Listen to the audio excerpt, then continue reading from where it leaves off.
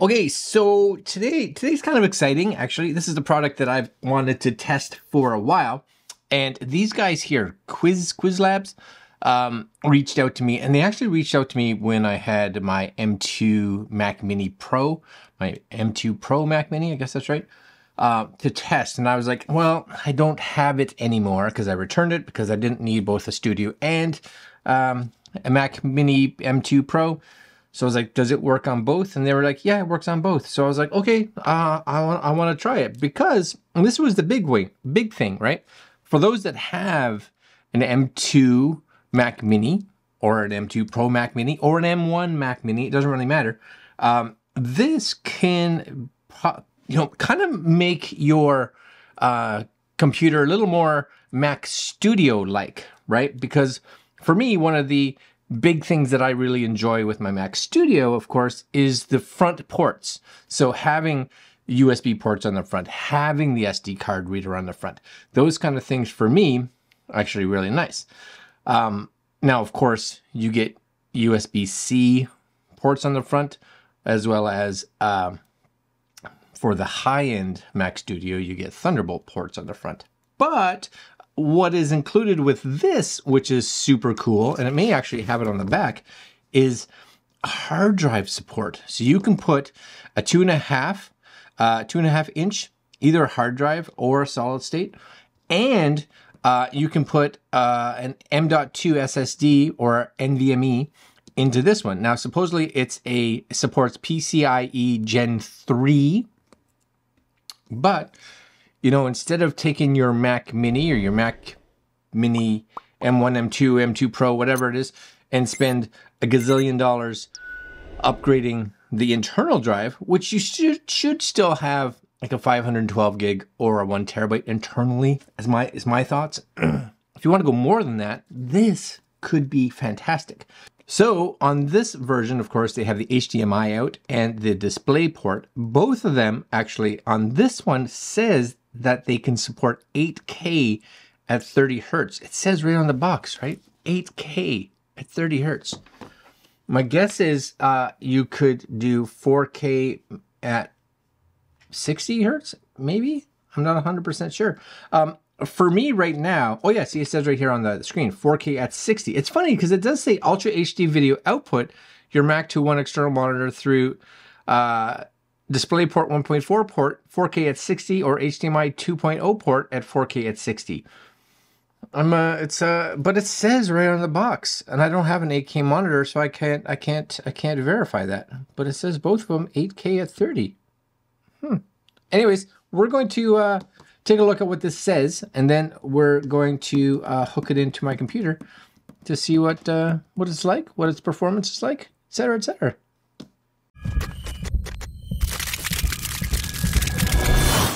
Okay, so I'm not sure if this is an upgraded version of this one. I don't really know. It does say USB-C docking station with hard drive and solid state enclosures, right?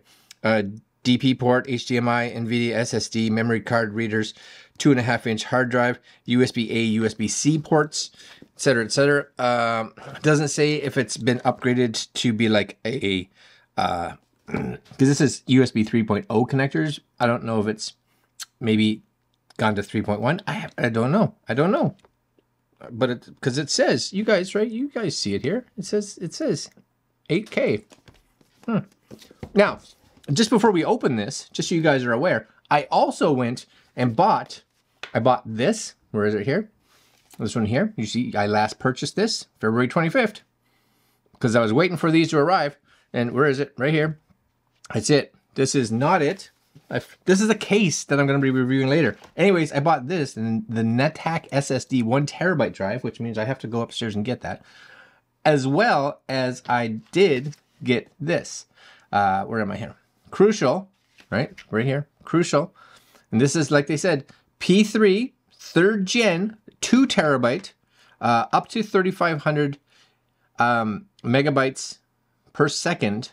Uh, solid state drive, right? Eh, now, 144, I spent 149. But on the Crucial drive, uh, right now it's 100 bucks, I think it is. These are Canadian prices. Uh, and I got it for 68. So I lost on one, gained on the other. Okay, let me let me go grab that drive because I don't think I can install an iPhone case in here. So let me go get that drive and then we'll open this. We'll open this up and we'll install the drives and continue.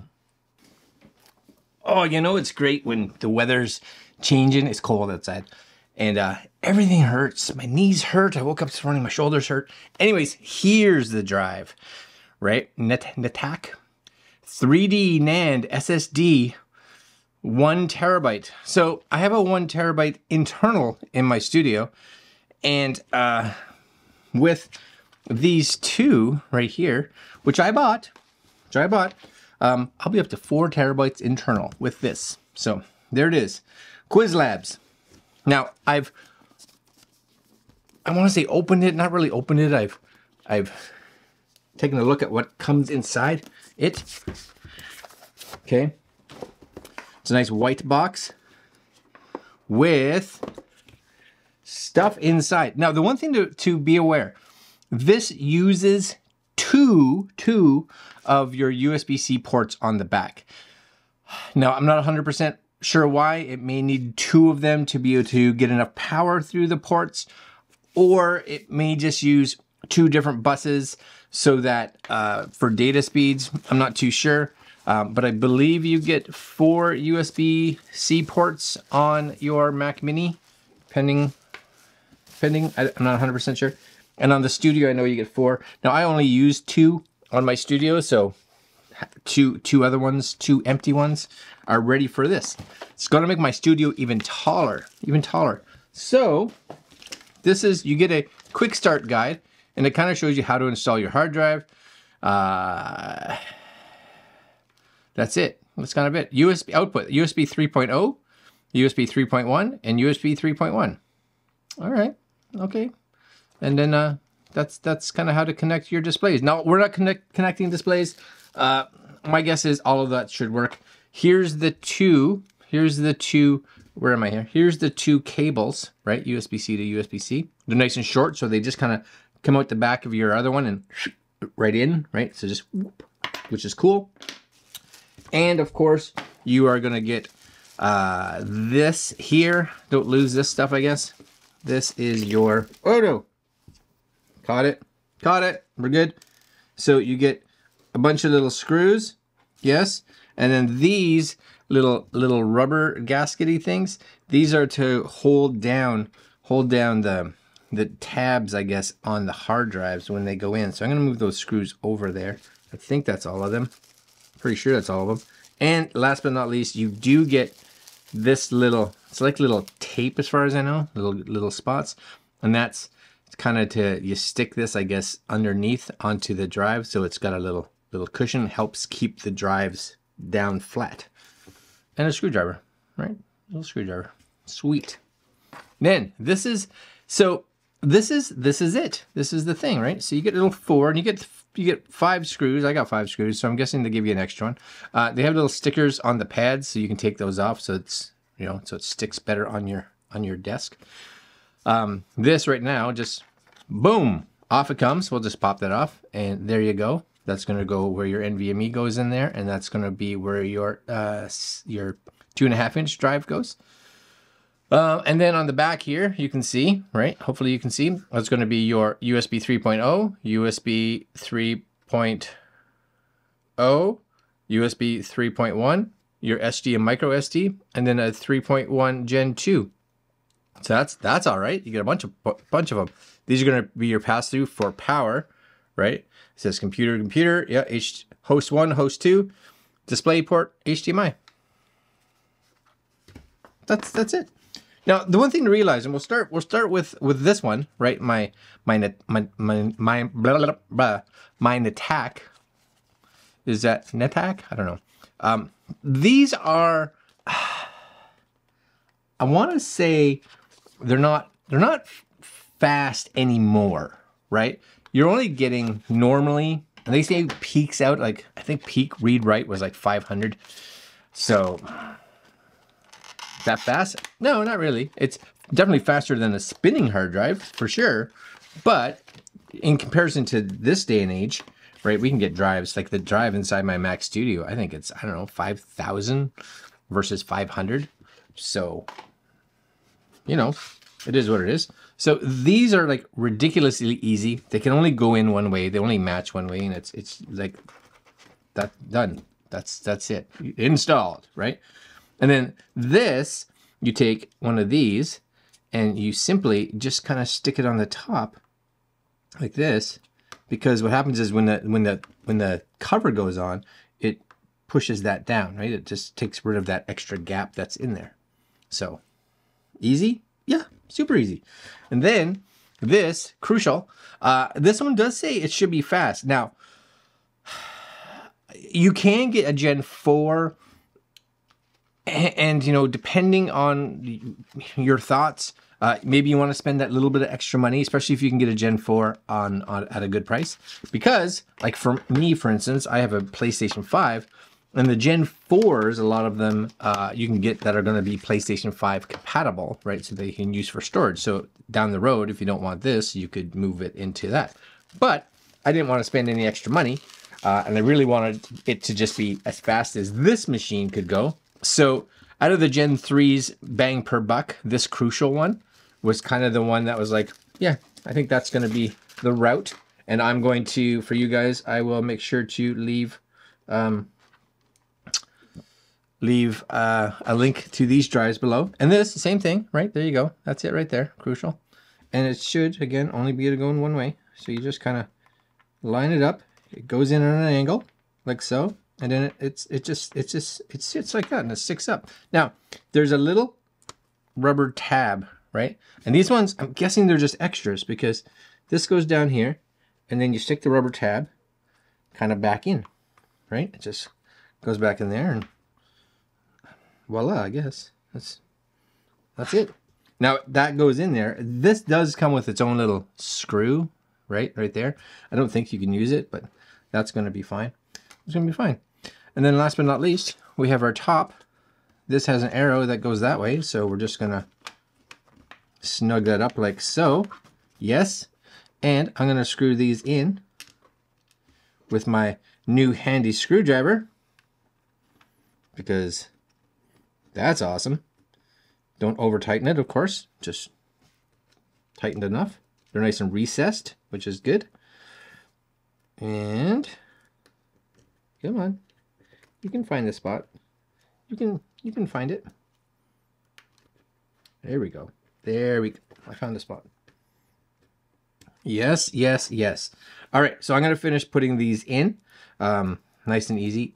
I like the fact that they give you a couple extra of everything, just in case, you know, like me, you open it and it just decides to go on the floor. All right, we're going to go upstairs. I'm going to hook this into my Mac Studio. But again, Mac Studio, uh, Mac Mini, M1, M2, M2 Pro, doesn't matter. Uh, and uh, we'll see, we'll see what these drives are like, how fast they are. Yeah. All right, guys. So we are upstairs. Uh, as you can see, I have the dock installed here. I've got the drives installed. Everything's good. We're going to turn it on, see what happens. Ready? It's booting. That's always a good sign. And it looks good, right? Oh, I got little power indicators show up. That's cool. Something's flashing. I'm guessing those may be hard drive lights, maybe hard drive activity lights, possibly. Okay, computer's booting up. All that's good stuff. And I, my feeling is I may have to, yeah, so here you go. So it's, it's going to make me initialize these drives, which is good. It, they just popped up. But it also means that it's good because I don't know where my mouse is. There we go. Uh, we're going to initialize these and initialize these. And I'm guessing one is this one, right? Two terabytes. That sounds right. I'll bring my screen recording up here so you guys can see this, right? So actually, maybe what I'll do is it's just easier if I put it on this screen over here. Yes, sir. This is a better screen. Okay, so we have this one and we have this one. These are the two uninitialized, okay? So this is the uh, NVMe so I'm going to say erase that. Yep. And I'm going to call it 2TBNVME. Okay. Scheme. Yep. Whatever. Sounds good. Boom.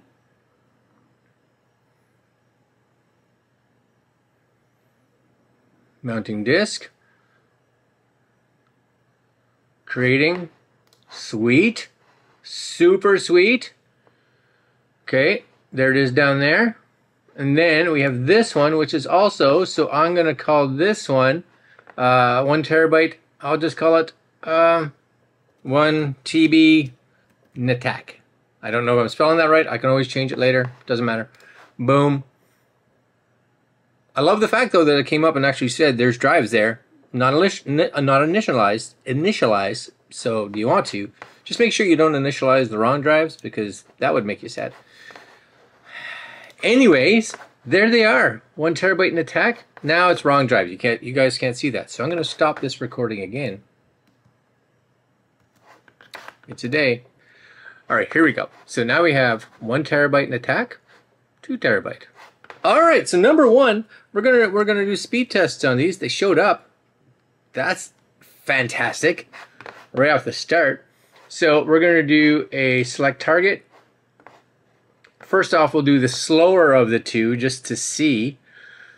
Uh, that's this one. Now, if I can get close to 500, I'll be pretty pleased. Pretty pleased. Ready? And go. 407 for right. Okay. That'll that'll still do, you know, 4K. And I'm probably going to use this one just for storage. But the key, the key is is it keeps it clean instead of having to do external stuff, right? Read. My guess would be yes, kind of in the same. I find it funny that it it, it writes faster than it reads. But I'm still getting in and around the 400, so that's okay. That's doable, right? It's it, it allows me to do 2160p in 60 in 60 frames. That's okay. That's fast enough. Cool. Now the real question for me is is the the NVMe drive going to be faster or are we going to be completely limited by bus speed, right? So we're going to come in here uh, and we're going to select that and this time we're going to go to the 2 terabyte Okay, and this was the crucial drive, crucial drive. Again, uh, my guess is, depending on how you have it connected, if you were to connect this drive internally to an, like an internal NVMe slot, we would get full speeds. I don't expect to get full speeds. If I can get, if I can get a thousand or faster, I'd, I'd be pleased. All right, ready? Uh, we're coming up close to the thousand write 928. Read, uh, read's not as fast. So we're writing faster than we're reading for sure. But still, those are speeds that completely fine for like editing off of, for sure, right? So, am I okay with that? Yeah. So here's here's the thing: would I would I be overly uh, would I need to have the fastest NVMe drive to put into this? No, because are you going to get those speeds? No. This one says it claims that it can do over 2,000. Um, I'm getting you know 900 and 500, right? Um, so can I edit off both of these drives? Yes. Would I edit off of the um, two terabyte NVMe? versus the crucial SSD, yeah, it's, definitely faster. Now here's here's the one question, right? Because I spent $150 uh, on that was Canadian, right? 150, 145 you can get it for uh, on uh, that internal. So my question then is this this here is an external, right? That is but it's expensive. Like I think this two terabyte, I think this cost me two hundred and something dollars, right? Well, let's just see right here. Let's let's let's go on the Amazon. We will do a SanDisk two terabyte external SSD. So it is their extra fast one, their Gen two. This is it. So two hundred bucks, right? Two hundred bucks versus hundred and fifty, right? Oh, or is it no it's this one i bought the extreme pro sorry. Right? I bought the extreme pro i believe. 2000 it says. Yeah because this one only does 520 it's this one. So $300 $300 okay? So we're going to take this and we're going to plug it into my actual mac into the solid state. And we'll do the same thing because that's that's a lot of money, right? So if we come in here and select target and go to uh, my extreme, extreme, is that it? Yep, extreme, start. See, I'm not getting those kind of, I'm getting actually faster off the internal because I was getting 900, right, off the internal.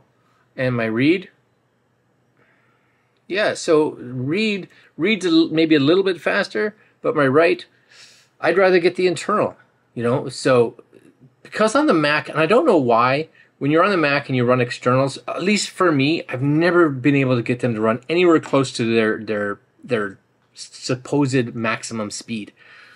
So the fact that I can get about a thousand or so on the internal for less money, pretty cool. Plus, for those of you on a Mac Mini, you now get three front-facing USB-A ports. You get a front-facing USB-C port, and you get an SD card and a micro SD card reader. That's kind of nice, right? So if you have the four USB-C slash Thunderbolt ports on the back, even when you use two of them, you're gonna have two left. So that should be plenty. Just just kind of, you know, you have to figure out based on your own needs. I like it. And for me, now I can just, I can go crazy with the drives. Crazy with the drives. All right, guys, that is the Qwiizlab which also includes the inter internal drives.